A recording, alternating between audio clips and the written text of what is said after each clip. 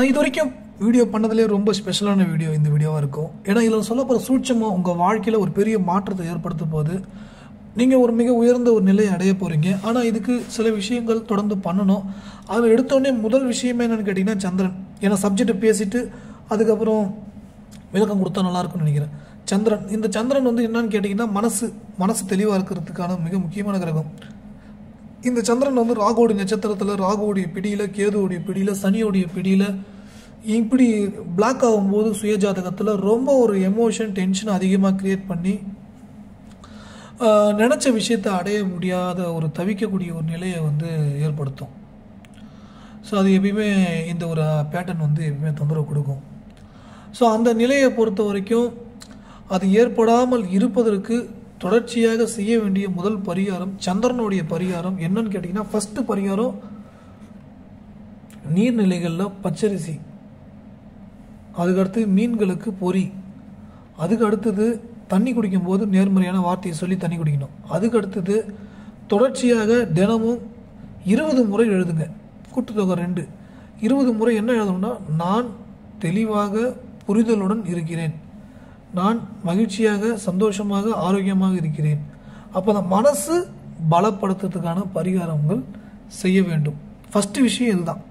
So இதை மட்டும் நீங்கள் ஃபாலோ பண்ணும்போது இந்த பரிகாரம் சந்திரன் உங்களுக்கு சப்போர்ட் பண்ண ஆரம்பிச்சிடும் சரி எத்தனை டைம் எழுதணும்? டெய்லி எழுதணும். எத்தனை டைம் எழுதணும்? இருபது டைம் எழுதணும். எத்தனை மாதத்துக்கு எழுதணும்? தெளிவு அடையிற வரைக்கும் எழுதிட்டே தானே இருக்கணும்.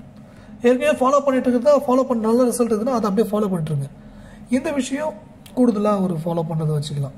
ஓகேங்களா அடுத்தது உங்கள் வாழ்க்கையில் இந்த மனசு தெளிவாயிடுச்சுன்னா அதுக்கப்புறம் இலக்குகள் எப்படி தீர்மானிக்கணும்? என்ன வேணும்? எப்படி அடையணும்? இப்படின்ற இந்த விஷயங்கள் எல்லாமே உங்களுக்கு கிடைக்க ஆரம்பிச்சிடும் இதுக்கான சூழ்நிலைகள் ஏற்பட ஆரம்பிச்சிடும் ஸோ அப்போ வந்து இதுக்கான சூழ்நிலையும் கிடைக்கணும்னா நீங்கள் தொடர்ச்சியாக உங்களுக்கான இலக்குகளை நீங்கள் தீர்மானிக்கிறீங்க. ஆனால் அந்த தீர்மானிக்கக்கூடிய இலக்குகள் வந்து எந்த சூழ்நிலையிலையும் பின்வாங்கிடக்கூடாது. உதாரணத்துக்கு ஒரு இருபது கோடி ரூபா சம்பாதிக்கணும். திருப்பி சந்திரனுடைய நம்பரை சூஸ் பண்ணுறேன் இருபது கோடி ரூபா சம்பாதிக்கணும் அப்படின்னு நீங்கள் முடிவு பண்ணிட்டீங்க. அந்த இருபது கோடி உங்கள் வாழ்க்கையில் ரொம்ப முக்கியமான ஒரு அமௌண்ட்டாக ஒரு நம்பராக நீங்கள் சூஸ் பண்ணியிருக்கீங்க. அந்த நம்பரை நீங்கள் ரீச் பண்ணுறதுக்கு கடைசி வரைக்குமே அந்த அந்த நம்பர் ரீச் பண்ணுற வரைக்குமே ஒரு நூறு நாள் வரைக்குமே சின்னதாக ஒரு டவுட் கூட வரக்கூடாது. இதெல்லாம் எவ்வளோ சாத்தியம்? ஒரு மாதத்துக்கே நான் ரெண்டு லட்சம் தான் சம்பளம் வாங்குறேன். வருஷத்துக்கு ஒரு இருபத்தி நாலு லட்ச ரூபா சம்பாதிக்கலாம் பத்து வருஷம் கூட நான் சம்பாரிச்சா கூட ஒரு ரெண்டு கோடி ரூபா சம்பாதிக்கலாம். இருபது கோடி ரூபாலாம் வாய்ப்பு இல்லை. இப்படி ஒரு கால்குலேஷன்லாம் போடக்கூடாது. ஓகேங்களா? இப்படி ஒரு கால்குலேஷன் போட்டு இவ்வளோ தான் நமக்கு வருமானம் இவ்வளோ தான் இதுக்கு மேலே பெருசாக யோசிக்க முடியாது. ஸோ அதெல்லாம் நமக்கு தகுதிகள் இல்லை அப்படின்ற அந்த மாதிரி செல்ஃப் செல்ஃப் டவுட் உங்களுக்கு இருக்கக்கூடாது. ஓகேங்களா? அப்போ இலக்குகள் நீங்கள் தீர்மானித்து விட்டீர்கள் என்றால் அந்த இலக்குகள் நீங்கள் சந்திரனுடைய நிலையிலிருந்து யோசிக்கணும். மனசு தெளிவாக புத்தி தெளிவாக உங்களுக்கு இருக்க வேண்டும். அதே மாதிரி இங்கே திருமண வாழ்க்கைன்ற ஒரு விஷயத்துக்குள்ளே வந்துடுறேன். கணவன் மனைவி திருமணம் ஆகாமல் இருப்பவர்களுக்கும் திருமணம் ஆகி விவாகரத்தை பெற்றவர்களுக்கும் ஸோ நமக்கு பிடிச்ச மாதிரி ஒரு பையன் ஒரு மாப்பிள்ளை அமையணும் பொண்ணு அமையணும் அப்படின்னு நீங்கள் தீர்மானிக்கிறீங்க. அந்த தீர்மானிக்கிறது வந்து எந்த அளவுக்கு உண்மையோடு இருக்கணும்னு கேட்டிங்கன்னா நான் வரப்போகிற கணவருக்கு வரப்போகிற மனைவிக்கு நான் முழுமையாக உண்மையாக இருப்பேன். அவர் வந்து என்னை நல்லா பார்த்துப்பாரு ரொம்ப சந்தோஷமாக பார்த்துப்பாரு. என எனக்காக உயிரை கூட கொடுப்பாரு. ஸோ அந்த அளவுக்கு ஒரு கேரிங் கண்டிப்பாக இருக்குது ஸோ அந்த எலிஜிபிலிட்டி அவருக்கு இருக்குது ஸோ அப்படியேப்பட்ட ஒருத்தர் தான் எனக்கு வாழ்க்கை துணையாக அமையும். அப்படியேப்பட்ட ஒரு பொண்ணு தான் எனக்கு வாழ்க்கை துணையாக அமையும். அப்படியேப்பட்ட மாப்ப பையன் தான் வாழ்க்கை கணவராக அமைவாங்க. ஸோ என் வாழ்க்கை நல்லா இருக்கும். ரொம்ப சூப்பராக இருக்கும். மிக சிறப்பாக இருக்கும். அப்படின்னு அந்த பாசிட்டிவான வார்த்தை வந்து ரைட்டிங்கில் சுக்குரனுடைய நம்பரில் நீங்கள் வைக்கலாம். சுக்கரனுடைய நம்பர் என்னன்னு கேட்டிங்கன்னா ஆறு அறுபது ஐம்பத்தி ஒன்று இப்படி சூஸ் பண்ணலாம். இல்லை இருபத்தி நாலு அப்போ வந்து ஆறு டைம் எழுதுறது கம்மியாக இருக்கும் டைமு அதனால் இருபத்தி நாலு டைம் எழுதலாம். அப்போ இருபத்தி நாலு டைம் எப்படி வேணும் எனது கணவர் எனக்கு என் மீது பாசமாக அக்கறையாக உண்மையாக இருக்கக்கூடியவராக அமைந்து விட்டார். அப்படின்னு எழுதணும். இதை மனைவியாக இருந்தால் எனக்கு பிடித்த மாதிரி ரொம்ப நல்ல ஒரு பெண் எனக்கு உதவிகரமாக உண்மையாக இருக்கக்கூடிய பெண் மனைவியாக அமைந்து விட்டார்கள். இது வந்து திருமணம் ஆகாதவங்களுக்கு எழுதலாம் திருமணம் ஆகி கணவரை திருத்துறதுக்கும் இதை எழுதலாம். மனைவியை திருத்துறதுக்கும் இதை எழுதலாம். அப்போ உங்கள் மனைவி உங்கள் மேலே வெறுப்பாகிறாங்க கோபமாகறாங்க உங்கள் கணவர் கோவமாக வெறுப்பாகிறாங்க அப்போ இதை வந்து ரைட்டிங்கில் வந்து அப்படியே அந்த அந்த பேனால அந்த எனர்ஜி போகணும். அந்த எழுத்து அந்த நோட்டு அந்த நோட்டிலேருந்து இருந்து பிரபஞ்சம் நவகிரகம் ஒன்பது கிரகங்களும் சுக்கரன் ஆக்டிவேட் ஆகும். இந்த சுக்கிரன் ஆக்டிவேட் ஆச்சுன்னா அப்படியே நூறு சதவீதம் பலிக்கும். அப்போ நம்ம மனசு எண்ணம் வந்து அவ்வளோ ஸ்ட்ராங்காக இருக்கணும். நீங்கள் தான் கணவரை பார்த்தாலே பிடிக்கல கணவன் மனைவியை பார்த்தாலே பிடிக்கல அப்படின்ற அந்த மனநிலை இருந்ததுன்னா அது இன்னும் இன்னும் தொந்தரவு அதிகமாக ஏற்படுத்திகிட்டே இருக்கும்.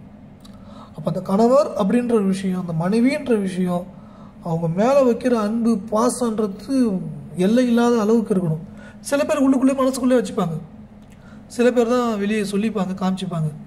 அப்போ மனசுக்குள்ளே வச்சுக்கிறதும் பார்த்தீங்கன்னா ரொம்ப ரொம்ப ரொம்ப நல்ல விஷயம்.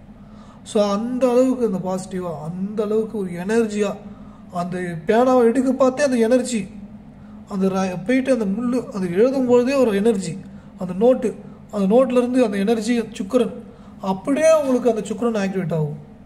அந்த சுக்கரன் ஆக்டிவேட் ஆகிடுச்சுனாலே உங்களுக்கு திருமண வாழ்க்கை சிறப்பாக இருக்கும்.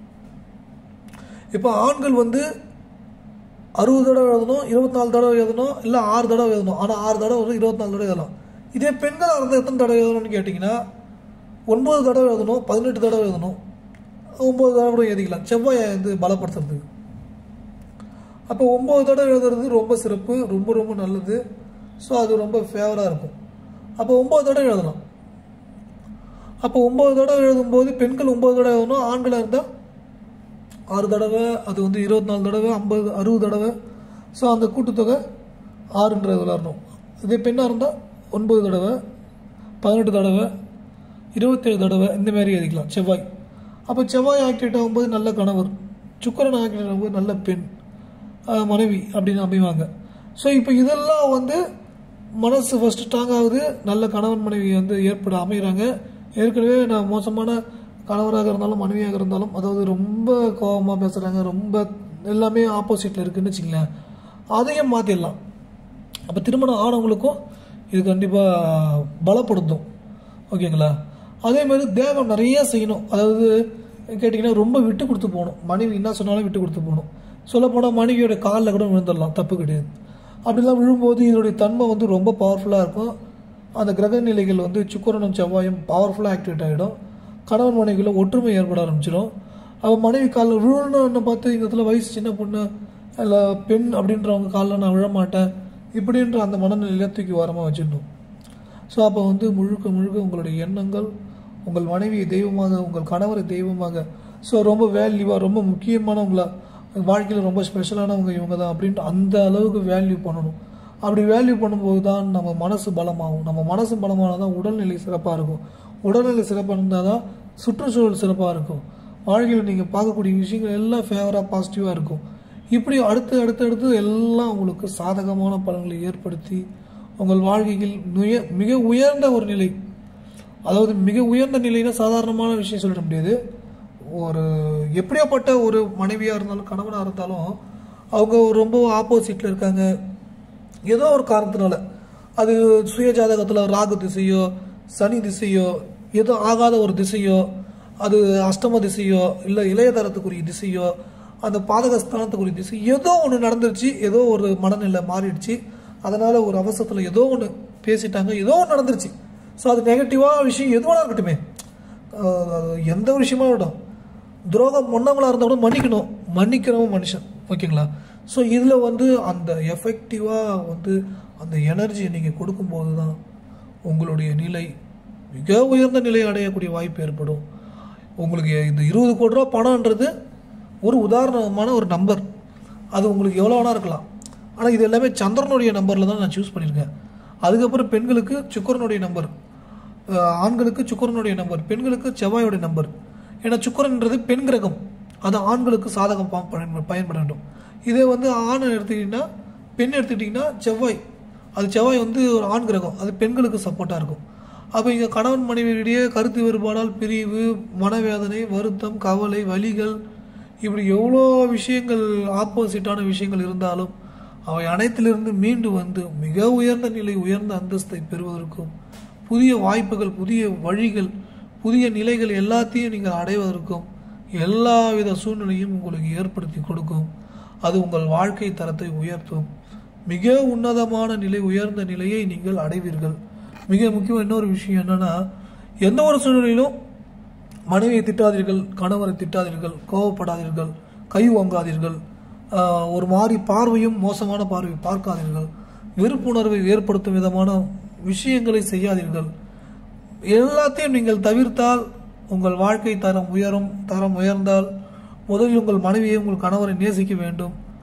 அப்படி நேசிக்கும் போது தான் இங்கிருந்து தொடங்குகிறது. அந்த சந்திரனுடைய நிலை ஆக்டிவேட் ஆகுது உங்களுடைய இலக்கு இருபது கோடி ரூபா. ஒரு உதாரணத்துக்கு நான் சொன்னேன். அந்தமாரி இலக்குகள் அடைவதற்கான வாய்ப்புகள் ஏற்படும். நல்ல மனிதர்கள் நல்ல நேர்மை உள்ள ஆட்களை சந்திக்கக்கூடிய வாய்ப்பு ஏற்படும். இப்படி நிறைய பாசிட்டிவான விஷயங்கள் உங்களுக்கு இருக்குங்க. உங்கள் வாழ்க்கை தரம் மிக மிக மேலே மேலே மேலே மேலேன்னு போயிட்டே இருக்கும். அது உங்கள் வாழ்க்கையில் சொல்கிற வார்த்தையில் இல்லை அது செயலில் இருக்கும். இதெல்லாம் முழுமையாக அனுபவபூர்வமாக நீங்கள் இதை செய்யும் போது தான் இதுக்கான வெற்றி கிடைக்கும். ஸோ மற்றவர்களுக்கும் இந்த வீடியோவை ஷேர் பண்ணுங்கள் உங்களுக்கு என்று ஏதாவது வெப்சைட் ஏதாவது ரெடி பண்ணணுன்னா மெசேஜ் பண்ணுங்கள் நான் உங்களுக்கு க்ரியேட் பண்ணி கொடுக்குறோம். உங்கள் வெப்சைட் உங்களுடைய நிறுவனத்தை விளம்பரம் பண்ணி தரணுமா? யூடியூப் சேனலில் பண்ணித்தரோம் உங்களுக்குன்னு ஒரு மொபைல் அப்ளிகேஷன் வேணாலும் நீங்கள் தொடர்பு கொள்ளலாம். நிச்சயம் அனைத்தும் பயனுள்ள வகையில் இருக்கும். நீங்கள் ஜாதகம் பார்க்க விரும்பினாலும் வாட்ஸ்அப்பில் அனுப்புங்க. எழுதி முடித்து விட்டு உங்களுக்கு ஃபோன் செய்கிறோம். கண்டிப்பாக உங்களுக்கு நல்ல பலன்கள் உங்களுக்கு ஏற்படுத்தி கொடுப்போம்.